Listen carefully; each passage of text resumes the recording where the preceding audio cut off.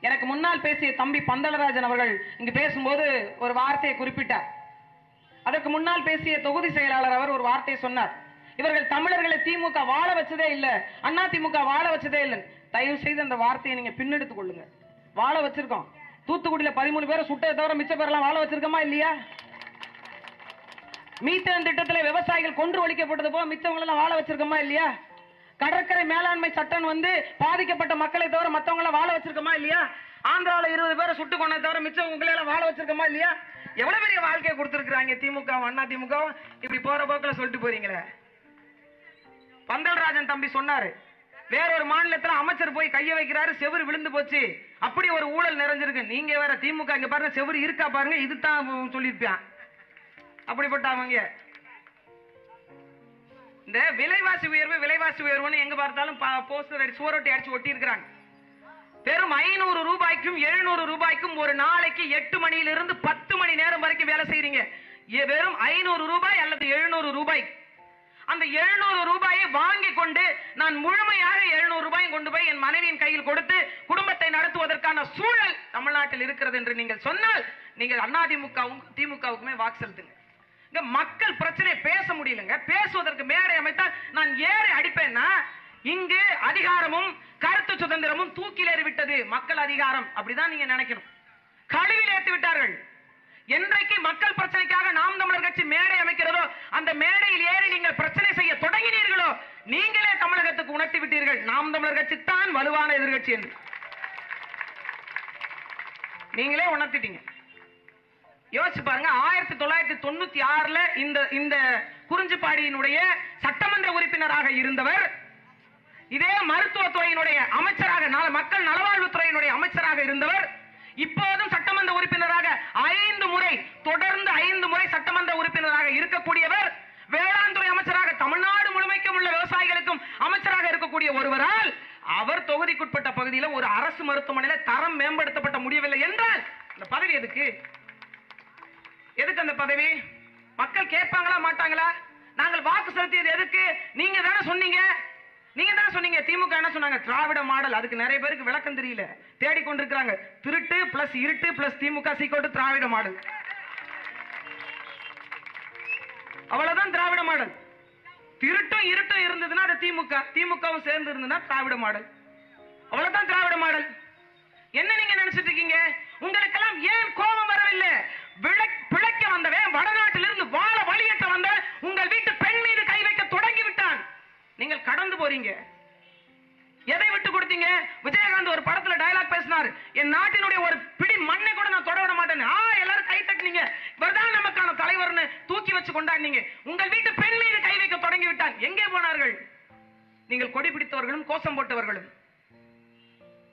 எப்படிப்பட்ட வாழ்வியல் நாம் வாழ்ந்து கொண்டிருக்கிறோம் தெரியுமா? உங்கள் வீட்டு பெண் பிள்ளைகளிடம் உட்கார்ந்து நீங்கள் கல்வி செல்லும் போது பள்ளிக்கூடம் செல்லும் போது நீங்கள் சரியாக சென்றுவிட்டு எந்த பாலியல் துன்புண துன்புறுத்தலும் இருந்தா இல்லாமல் நீங்கள் வீடு வருகிறீர்கள் என்று உங்கள் வீட்டு பெண் பிள்ளைகளிடம் கேட்டு பாருங்கள்.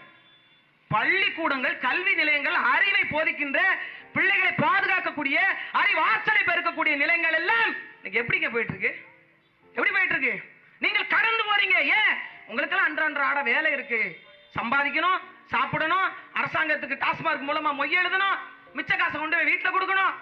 இதை வைத்து குடும்பம் நடத்தணும். அவ்வளவுதான் நம்மளுடைய வாழ்க்கையா? அதுக்காக தான் மனிதன் பிறந்தோமா? விலங்கினங்களும் நமக்கும் மாறுபட்டிருப்பதே இந்த ஆறறிவு சிந்திக்கக்கூடிய திறன் கேள்வி எழுப்பும் ஆற்றல் அவற்றையெல்லாம் நம்ம மறந்து விட்டோம் ரெண்டாயிரத்தி பதினெட்டுல வெறும் நானூறு ரூபாய் சிலிண்டரோட விலை. ரெண்டாயிரத்தி பதினெட்டுல வெறும் நானூறு ரூபாய். ரெண்டாயிரத்தி இருபத்தி ரெண்டுல ஆயிரத்தி ஐம்பது ரூபாய். உங்களுக்கெல்லாம் நாங்க மானியத்தை வங்கியில போடுறோம் வங்கியில போடுறோம்னாரு. வங்கியவே போட்டாரு. வங்கியிலே போட்டாரு. உங்க உங்க அக்கௌண்ட்ல எல்லாம் பதினஞ்சு லட்சம் வந்து விழும். எல்லாரும் உட்கார்ந்து இருந்தோம் எங்க இருந்து வந்து விழும்னு? நிவாரண காலத்துல ஏரோப்ளேன்ல இருந்து ஒரு சோத்து பட்டல கூட விழலைங்க. ஆனாலும் பதினஞ்சு லட்சம் விழும். எனக்கெல்லாம் பெரிய கொடுமை என்னன்னா ஐம்பது வருஷ காலம் ஆட்சி ஐம்பது வருஷ காலம். ஆறாவது முறையாகவோ ஏழாவது முறையாகவோ திராவிட முன்னேற்ற கழகம் ஆட்சி அதிகாரத்தில் இருக்கு. எங்க பார்த்தாலும் தெரு தெரு பாட்டு போட்டு விட்டாங்க. ஸ்டாலின் தான் வராரு விடியல் தர போறாருன்னு. வந்த அன்னைக்கு போனதுங்க அணில அந்த கரண்ட் கம்பியில. இப்ப தனியா ஒரு குழு போட்டிருக்கிறாங்க. அணிலை துரத்துவதற்கான ஒரு சிறப்பு படைக்குழு.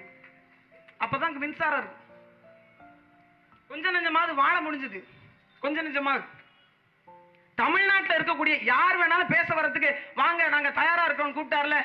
பந்தல்ராஜன் சொன்னாரு ராஜீவ்காந்தியை வர சொல்லுங்க அந்த பிராண்டே இங்கே தான் ப்ரொடக்ஷன் ஆச்சு. நாம் தமிழக கட்சியுடைய அறிவு சோலை அப்படி பதில் சொல்றதா இருந்தாலும் இங்க இருந்து ப்ரொடக்ஷன் ஆன பிராண்ட் வந்து தான் பதில் சொல்லணும் போல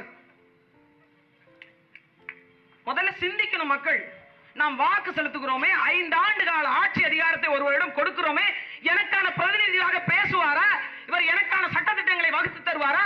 என் வாழ்வியலை பற்றி யோசிப்பாரா? என் பிரச்சனை என்னவென்று தெரியுமா இவருக்கு? நான் வாழ்கின்ற சூழலில் ஒரு நாள் அவரால் வாழ முடியுமா? எதையாவது யோசிச்சிருக்கோமா நாம? நாம எப்படி ஓட்டு போட்டிருக்கோம்? அறிவு சிறந்த மக்களை உங்கள் மனசாட்சி என் கேள்வி உழுக்க நீங்கள் நியாயவாதிகளாக இருந்தால் நீங்கள் கட்சியை பார்த்து வாக்கு செலுத்தினீங்க. இது என் அப்பா இருந்த கட்சி இது என் தாத்தா இருந்த கட்சி என்று கட்சியை பார்த்து வாக்கு செலுத்தினீங்க. சின்னத்தை பார்த்து வாக்கு செலுத்தினீங்க. இது ரெட்டலை இது உதயசூரியன் என்று சின்னத்தை பார்த்து வாக்கு செலுத்தினீங்க. சாதியை பார்த்து வாக்கு செலுத்தினீங்க. ஓட்டு போட்டீங்க. இவர் என் சாதிக்காரர் இவர் என் மதத்துக்காரர் என்று ஓட்டு போட்டீங்க.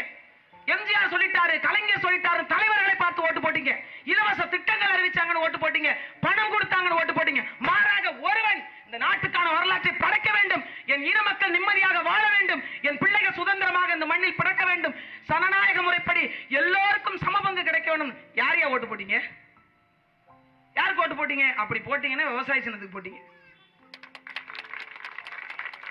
அதை தவிர நான் ஓட்டுக்கு பணம் வாங்காம அவங்க கொண்டு வந்து நிப்பாட்டின வண்டியை ஏறாம ஒரு தேநீர் கூட அவங்க காசுல குடிக்காம நான் போய் சரியான நபர் இவர் இந்த முறை வந்தா எனக்கான விஷயத்தை சட்டமன்றத்துல பேசி வாங்கி தருவார் அப்படின்னு ஓட்டு போட்டு இருக்கா இந்த இம்சை அரசன் இருபத்தி மூணாம் புலிகேசின்னு ஒரு படம் இருக்கு. எங்க அண்ணன் வடிவேல் நடிச்ச படம். அந்த கேரக்டரையும் ஐயா ஸ்டாலினையும் பார்த்தா எனக்கு அப்படியே ரெண்டு பேரும் ஒரே மாதிரி தெரியும். ஏன் தெரியுங்களா? அதுல ஓனாண்டி புலவர்னு ஒருத்தர் இருப்பார். ரெண்டு பக்கம் நிப்பாச்சு ராஜாதி ராஜ ராஜ கம்பீர ராஜ மாத்தாண்ட அப்படி சொல்லிட்டே இருப்பார். இவன் ஒரு பாடிய துதியை கவனிச்சிரு அமைச்சர். எங்க வர அந்த அவர்கிட்ட. என்னங்க நல்லதானங்க பாடுறான். நல்லா கவனி. அவர் மறுபடியும் ராஜாதி ராஜ ராஜ கம்பீர ராஜ மாத்தாண்ட ராஜகுலு ராஜகுலோ தூங்குவை விட்டுட்டானடா அதே மாதிரி தான் இப்ப இங்க. நீங்கள் நடித்ததோ ஒரு கல் ஒரு கண்ணாடி. நீங்கள் ஆனதோ சைக்கோ. இவங்க பாடுறான் எங்க இருக்கீங்களா உங்கள் பிரச்சனையை பேசக்கூடிய சட்டமன்றத்தில் பாடுகிறார்கள் அவரு சொல்றார் என்னை இளைய தளபதி என்றோ மக்கள் தளபதி என்றோ அழைக்காதீர்கள். என்னை சின்னவர் என்று அழையுங்கள். அப்படின்னு அவர் ஒரு பக்கம். இதுல இவரு ரொம்ப வருத்தப்படுறாரு. என்னன்னு பத்திரிகையாளர் கேட்ட கேள்விக்கு சின்னவர் உதயநிதி ஸ்டாலின் எனக்கு சின்னவர்னு கூட வாயில வந்து தொலை மாட்டேன் உதயநிதி ஸ்டாலின் அவர்கள் பதில் சொல்ல எப்படிங்க சொல்ல? ஒரு நேரம் நயன்தாராவுக்கு கல்யாணம் ஆனதுல வருத்தப்பட்டு நொந்து நூடுல்ஸ் ஆகி போச்சே போச்சே அப்படின்னு உட்காந்துருக்க ஒரு மனுஷனை போய் ஊடகத்தில் கேள்வி கேட்டால் சட்டனா வருமா? நாங்கள் எழுதி வச்சு கொடுத்தாலும் ஏழு நாளைக்கு படித்தா தான் அடுத்த வாரத்தையே பேசுவோம். நீங்கள் உடனே போய் எங்களுக்கு பதில் சொல்லுங்கண்ணா. எதை எதை பற்றி கேட்குறாங்க தேசிய கல்விக் கொள்கையை பற்றி கேட்குறாங்க அவருக்கு என்ன நாள் தெரியுமா அது? நமக்கு நமக்கும் தெரிலல்ல நமக்கு தெரிலல்ல மூன்றாவது வகுப்பு வகுப்பு படிக்கிற பிள்ளை இருக்கு பாருங்க. மூன்றாவது வகுப்பு படிக்கிற பிள்ளை. அஞ்சாவது வகுப்பு படிக்கிற பிள்ளை இருக்கு பாருங்க. எட்டாவது வகுப்பு படிக்கிற பிள்ளை. இந்த எல்லா வகுப்பு பிள்ளைகளுக்கும் பொது தேர்வு வைக்கிறாங்க. தேசிய கல்வி கொள்கை. பொது தேர்வு. மூன்றாவது வடி- படிக்கிற பிள்ளைக்கு பொது தேர்வு நடத்துகிறான். பத்தாம் வகுப்பு பொது தேர்வு எழுதிய சரியான மதிப்பெண் பெறவில்லை என்று அறிப்பு அறிவை மதிப்பெண் வைத்து கணக்கிடுகின்ற முறையை கேவலம் என்று நாங்கள் சொல்லிக் கொண்டிருக்கும் பொழுது பத்தாம் வகுப்பு மதிப்பெண்ணே நான் குறைவாக எடுத்து விட்டேன் என்று மன வலிமை குறைந்த பிள்ளைகளாக நம் பிள்ளைகள் வளர்ந்து கொண்டிருக்கிறார்கள். அந்த பிள்ளைகள் தற்கொலை பண்ணுகிறான் பன்னிரெண்டாம் வகுப்பு படிக்கிற பிள்ளை தற்கொலை பண்ணிக்கிறான் ஏன்? அவனுக்கு மன தைரியமே இல்லை. மன வலிமையே இல்லை. அவனோட எதிர்காலம் பத்தி அவனுக்கு கேள்வியே இல்லை. கவலையே இல்லை. அவனுக்கு தேவையெல்லாம் என்ன? இப்ப பள்ளிக்கூடம் போற பிள்ளைங்களை பத்து பிள்ளைங்க ஒரு கணக்கீடு சொல்லுது. ஒரு வகுப்பில் படிக்கக்கூடிய பத்து மாணவர்களுக்கு மட்டும்தான் எதிர்கால கனவு இருக்கிறது. நான் இப்படி ஆகணும் அப்படி ஆகணும்னு ஒரு எதிர்கால கனவோடு இருக்கிறது. ஒரு வகுப்பறையில் பத்தே பத்து மாணவர்கள் தான். மீதமுள்ளவர்கள்லாம் என்ன? எங்க அப்பா துரத்தி விட்டாங்கன்னு பள்ளிக்கூடத்துக்கு வரேன். ஏதோ பத்தாவது பன்னெண்டாவது படிச்சா போதுன்னு பள்ளிக்கூடத்துக்கு வரேன். எதிர்கால நோக்கமே கிடையாது. நோக்கமற்ற குடிகளாக நாம் மாறி போனோம்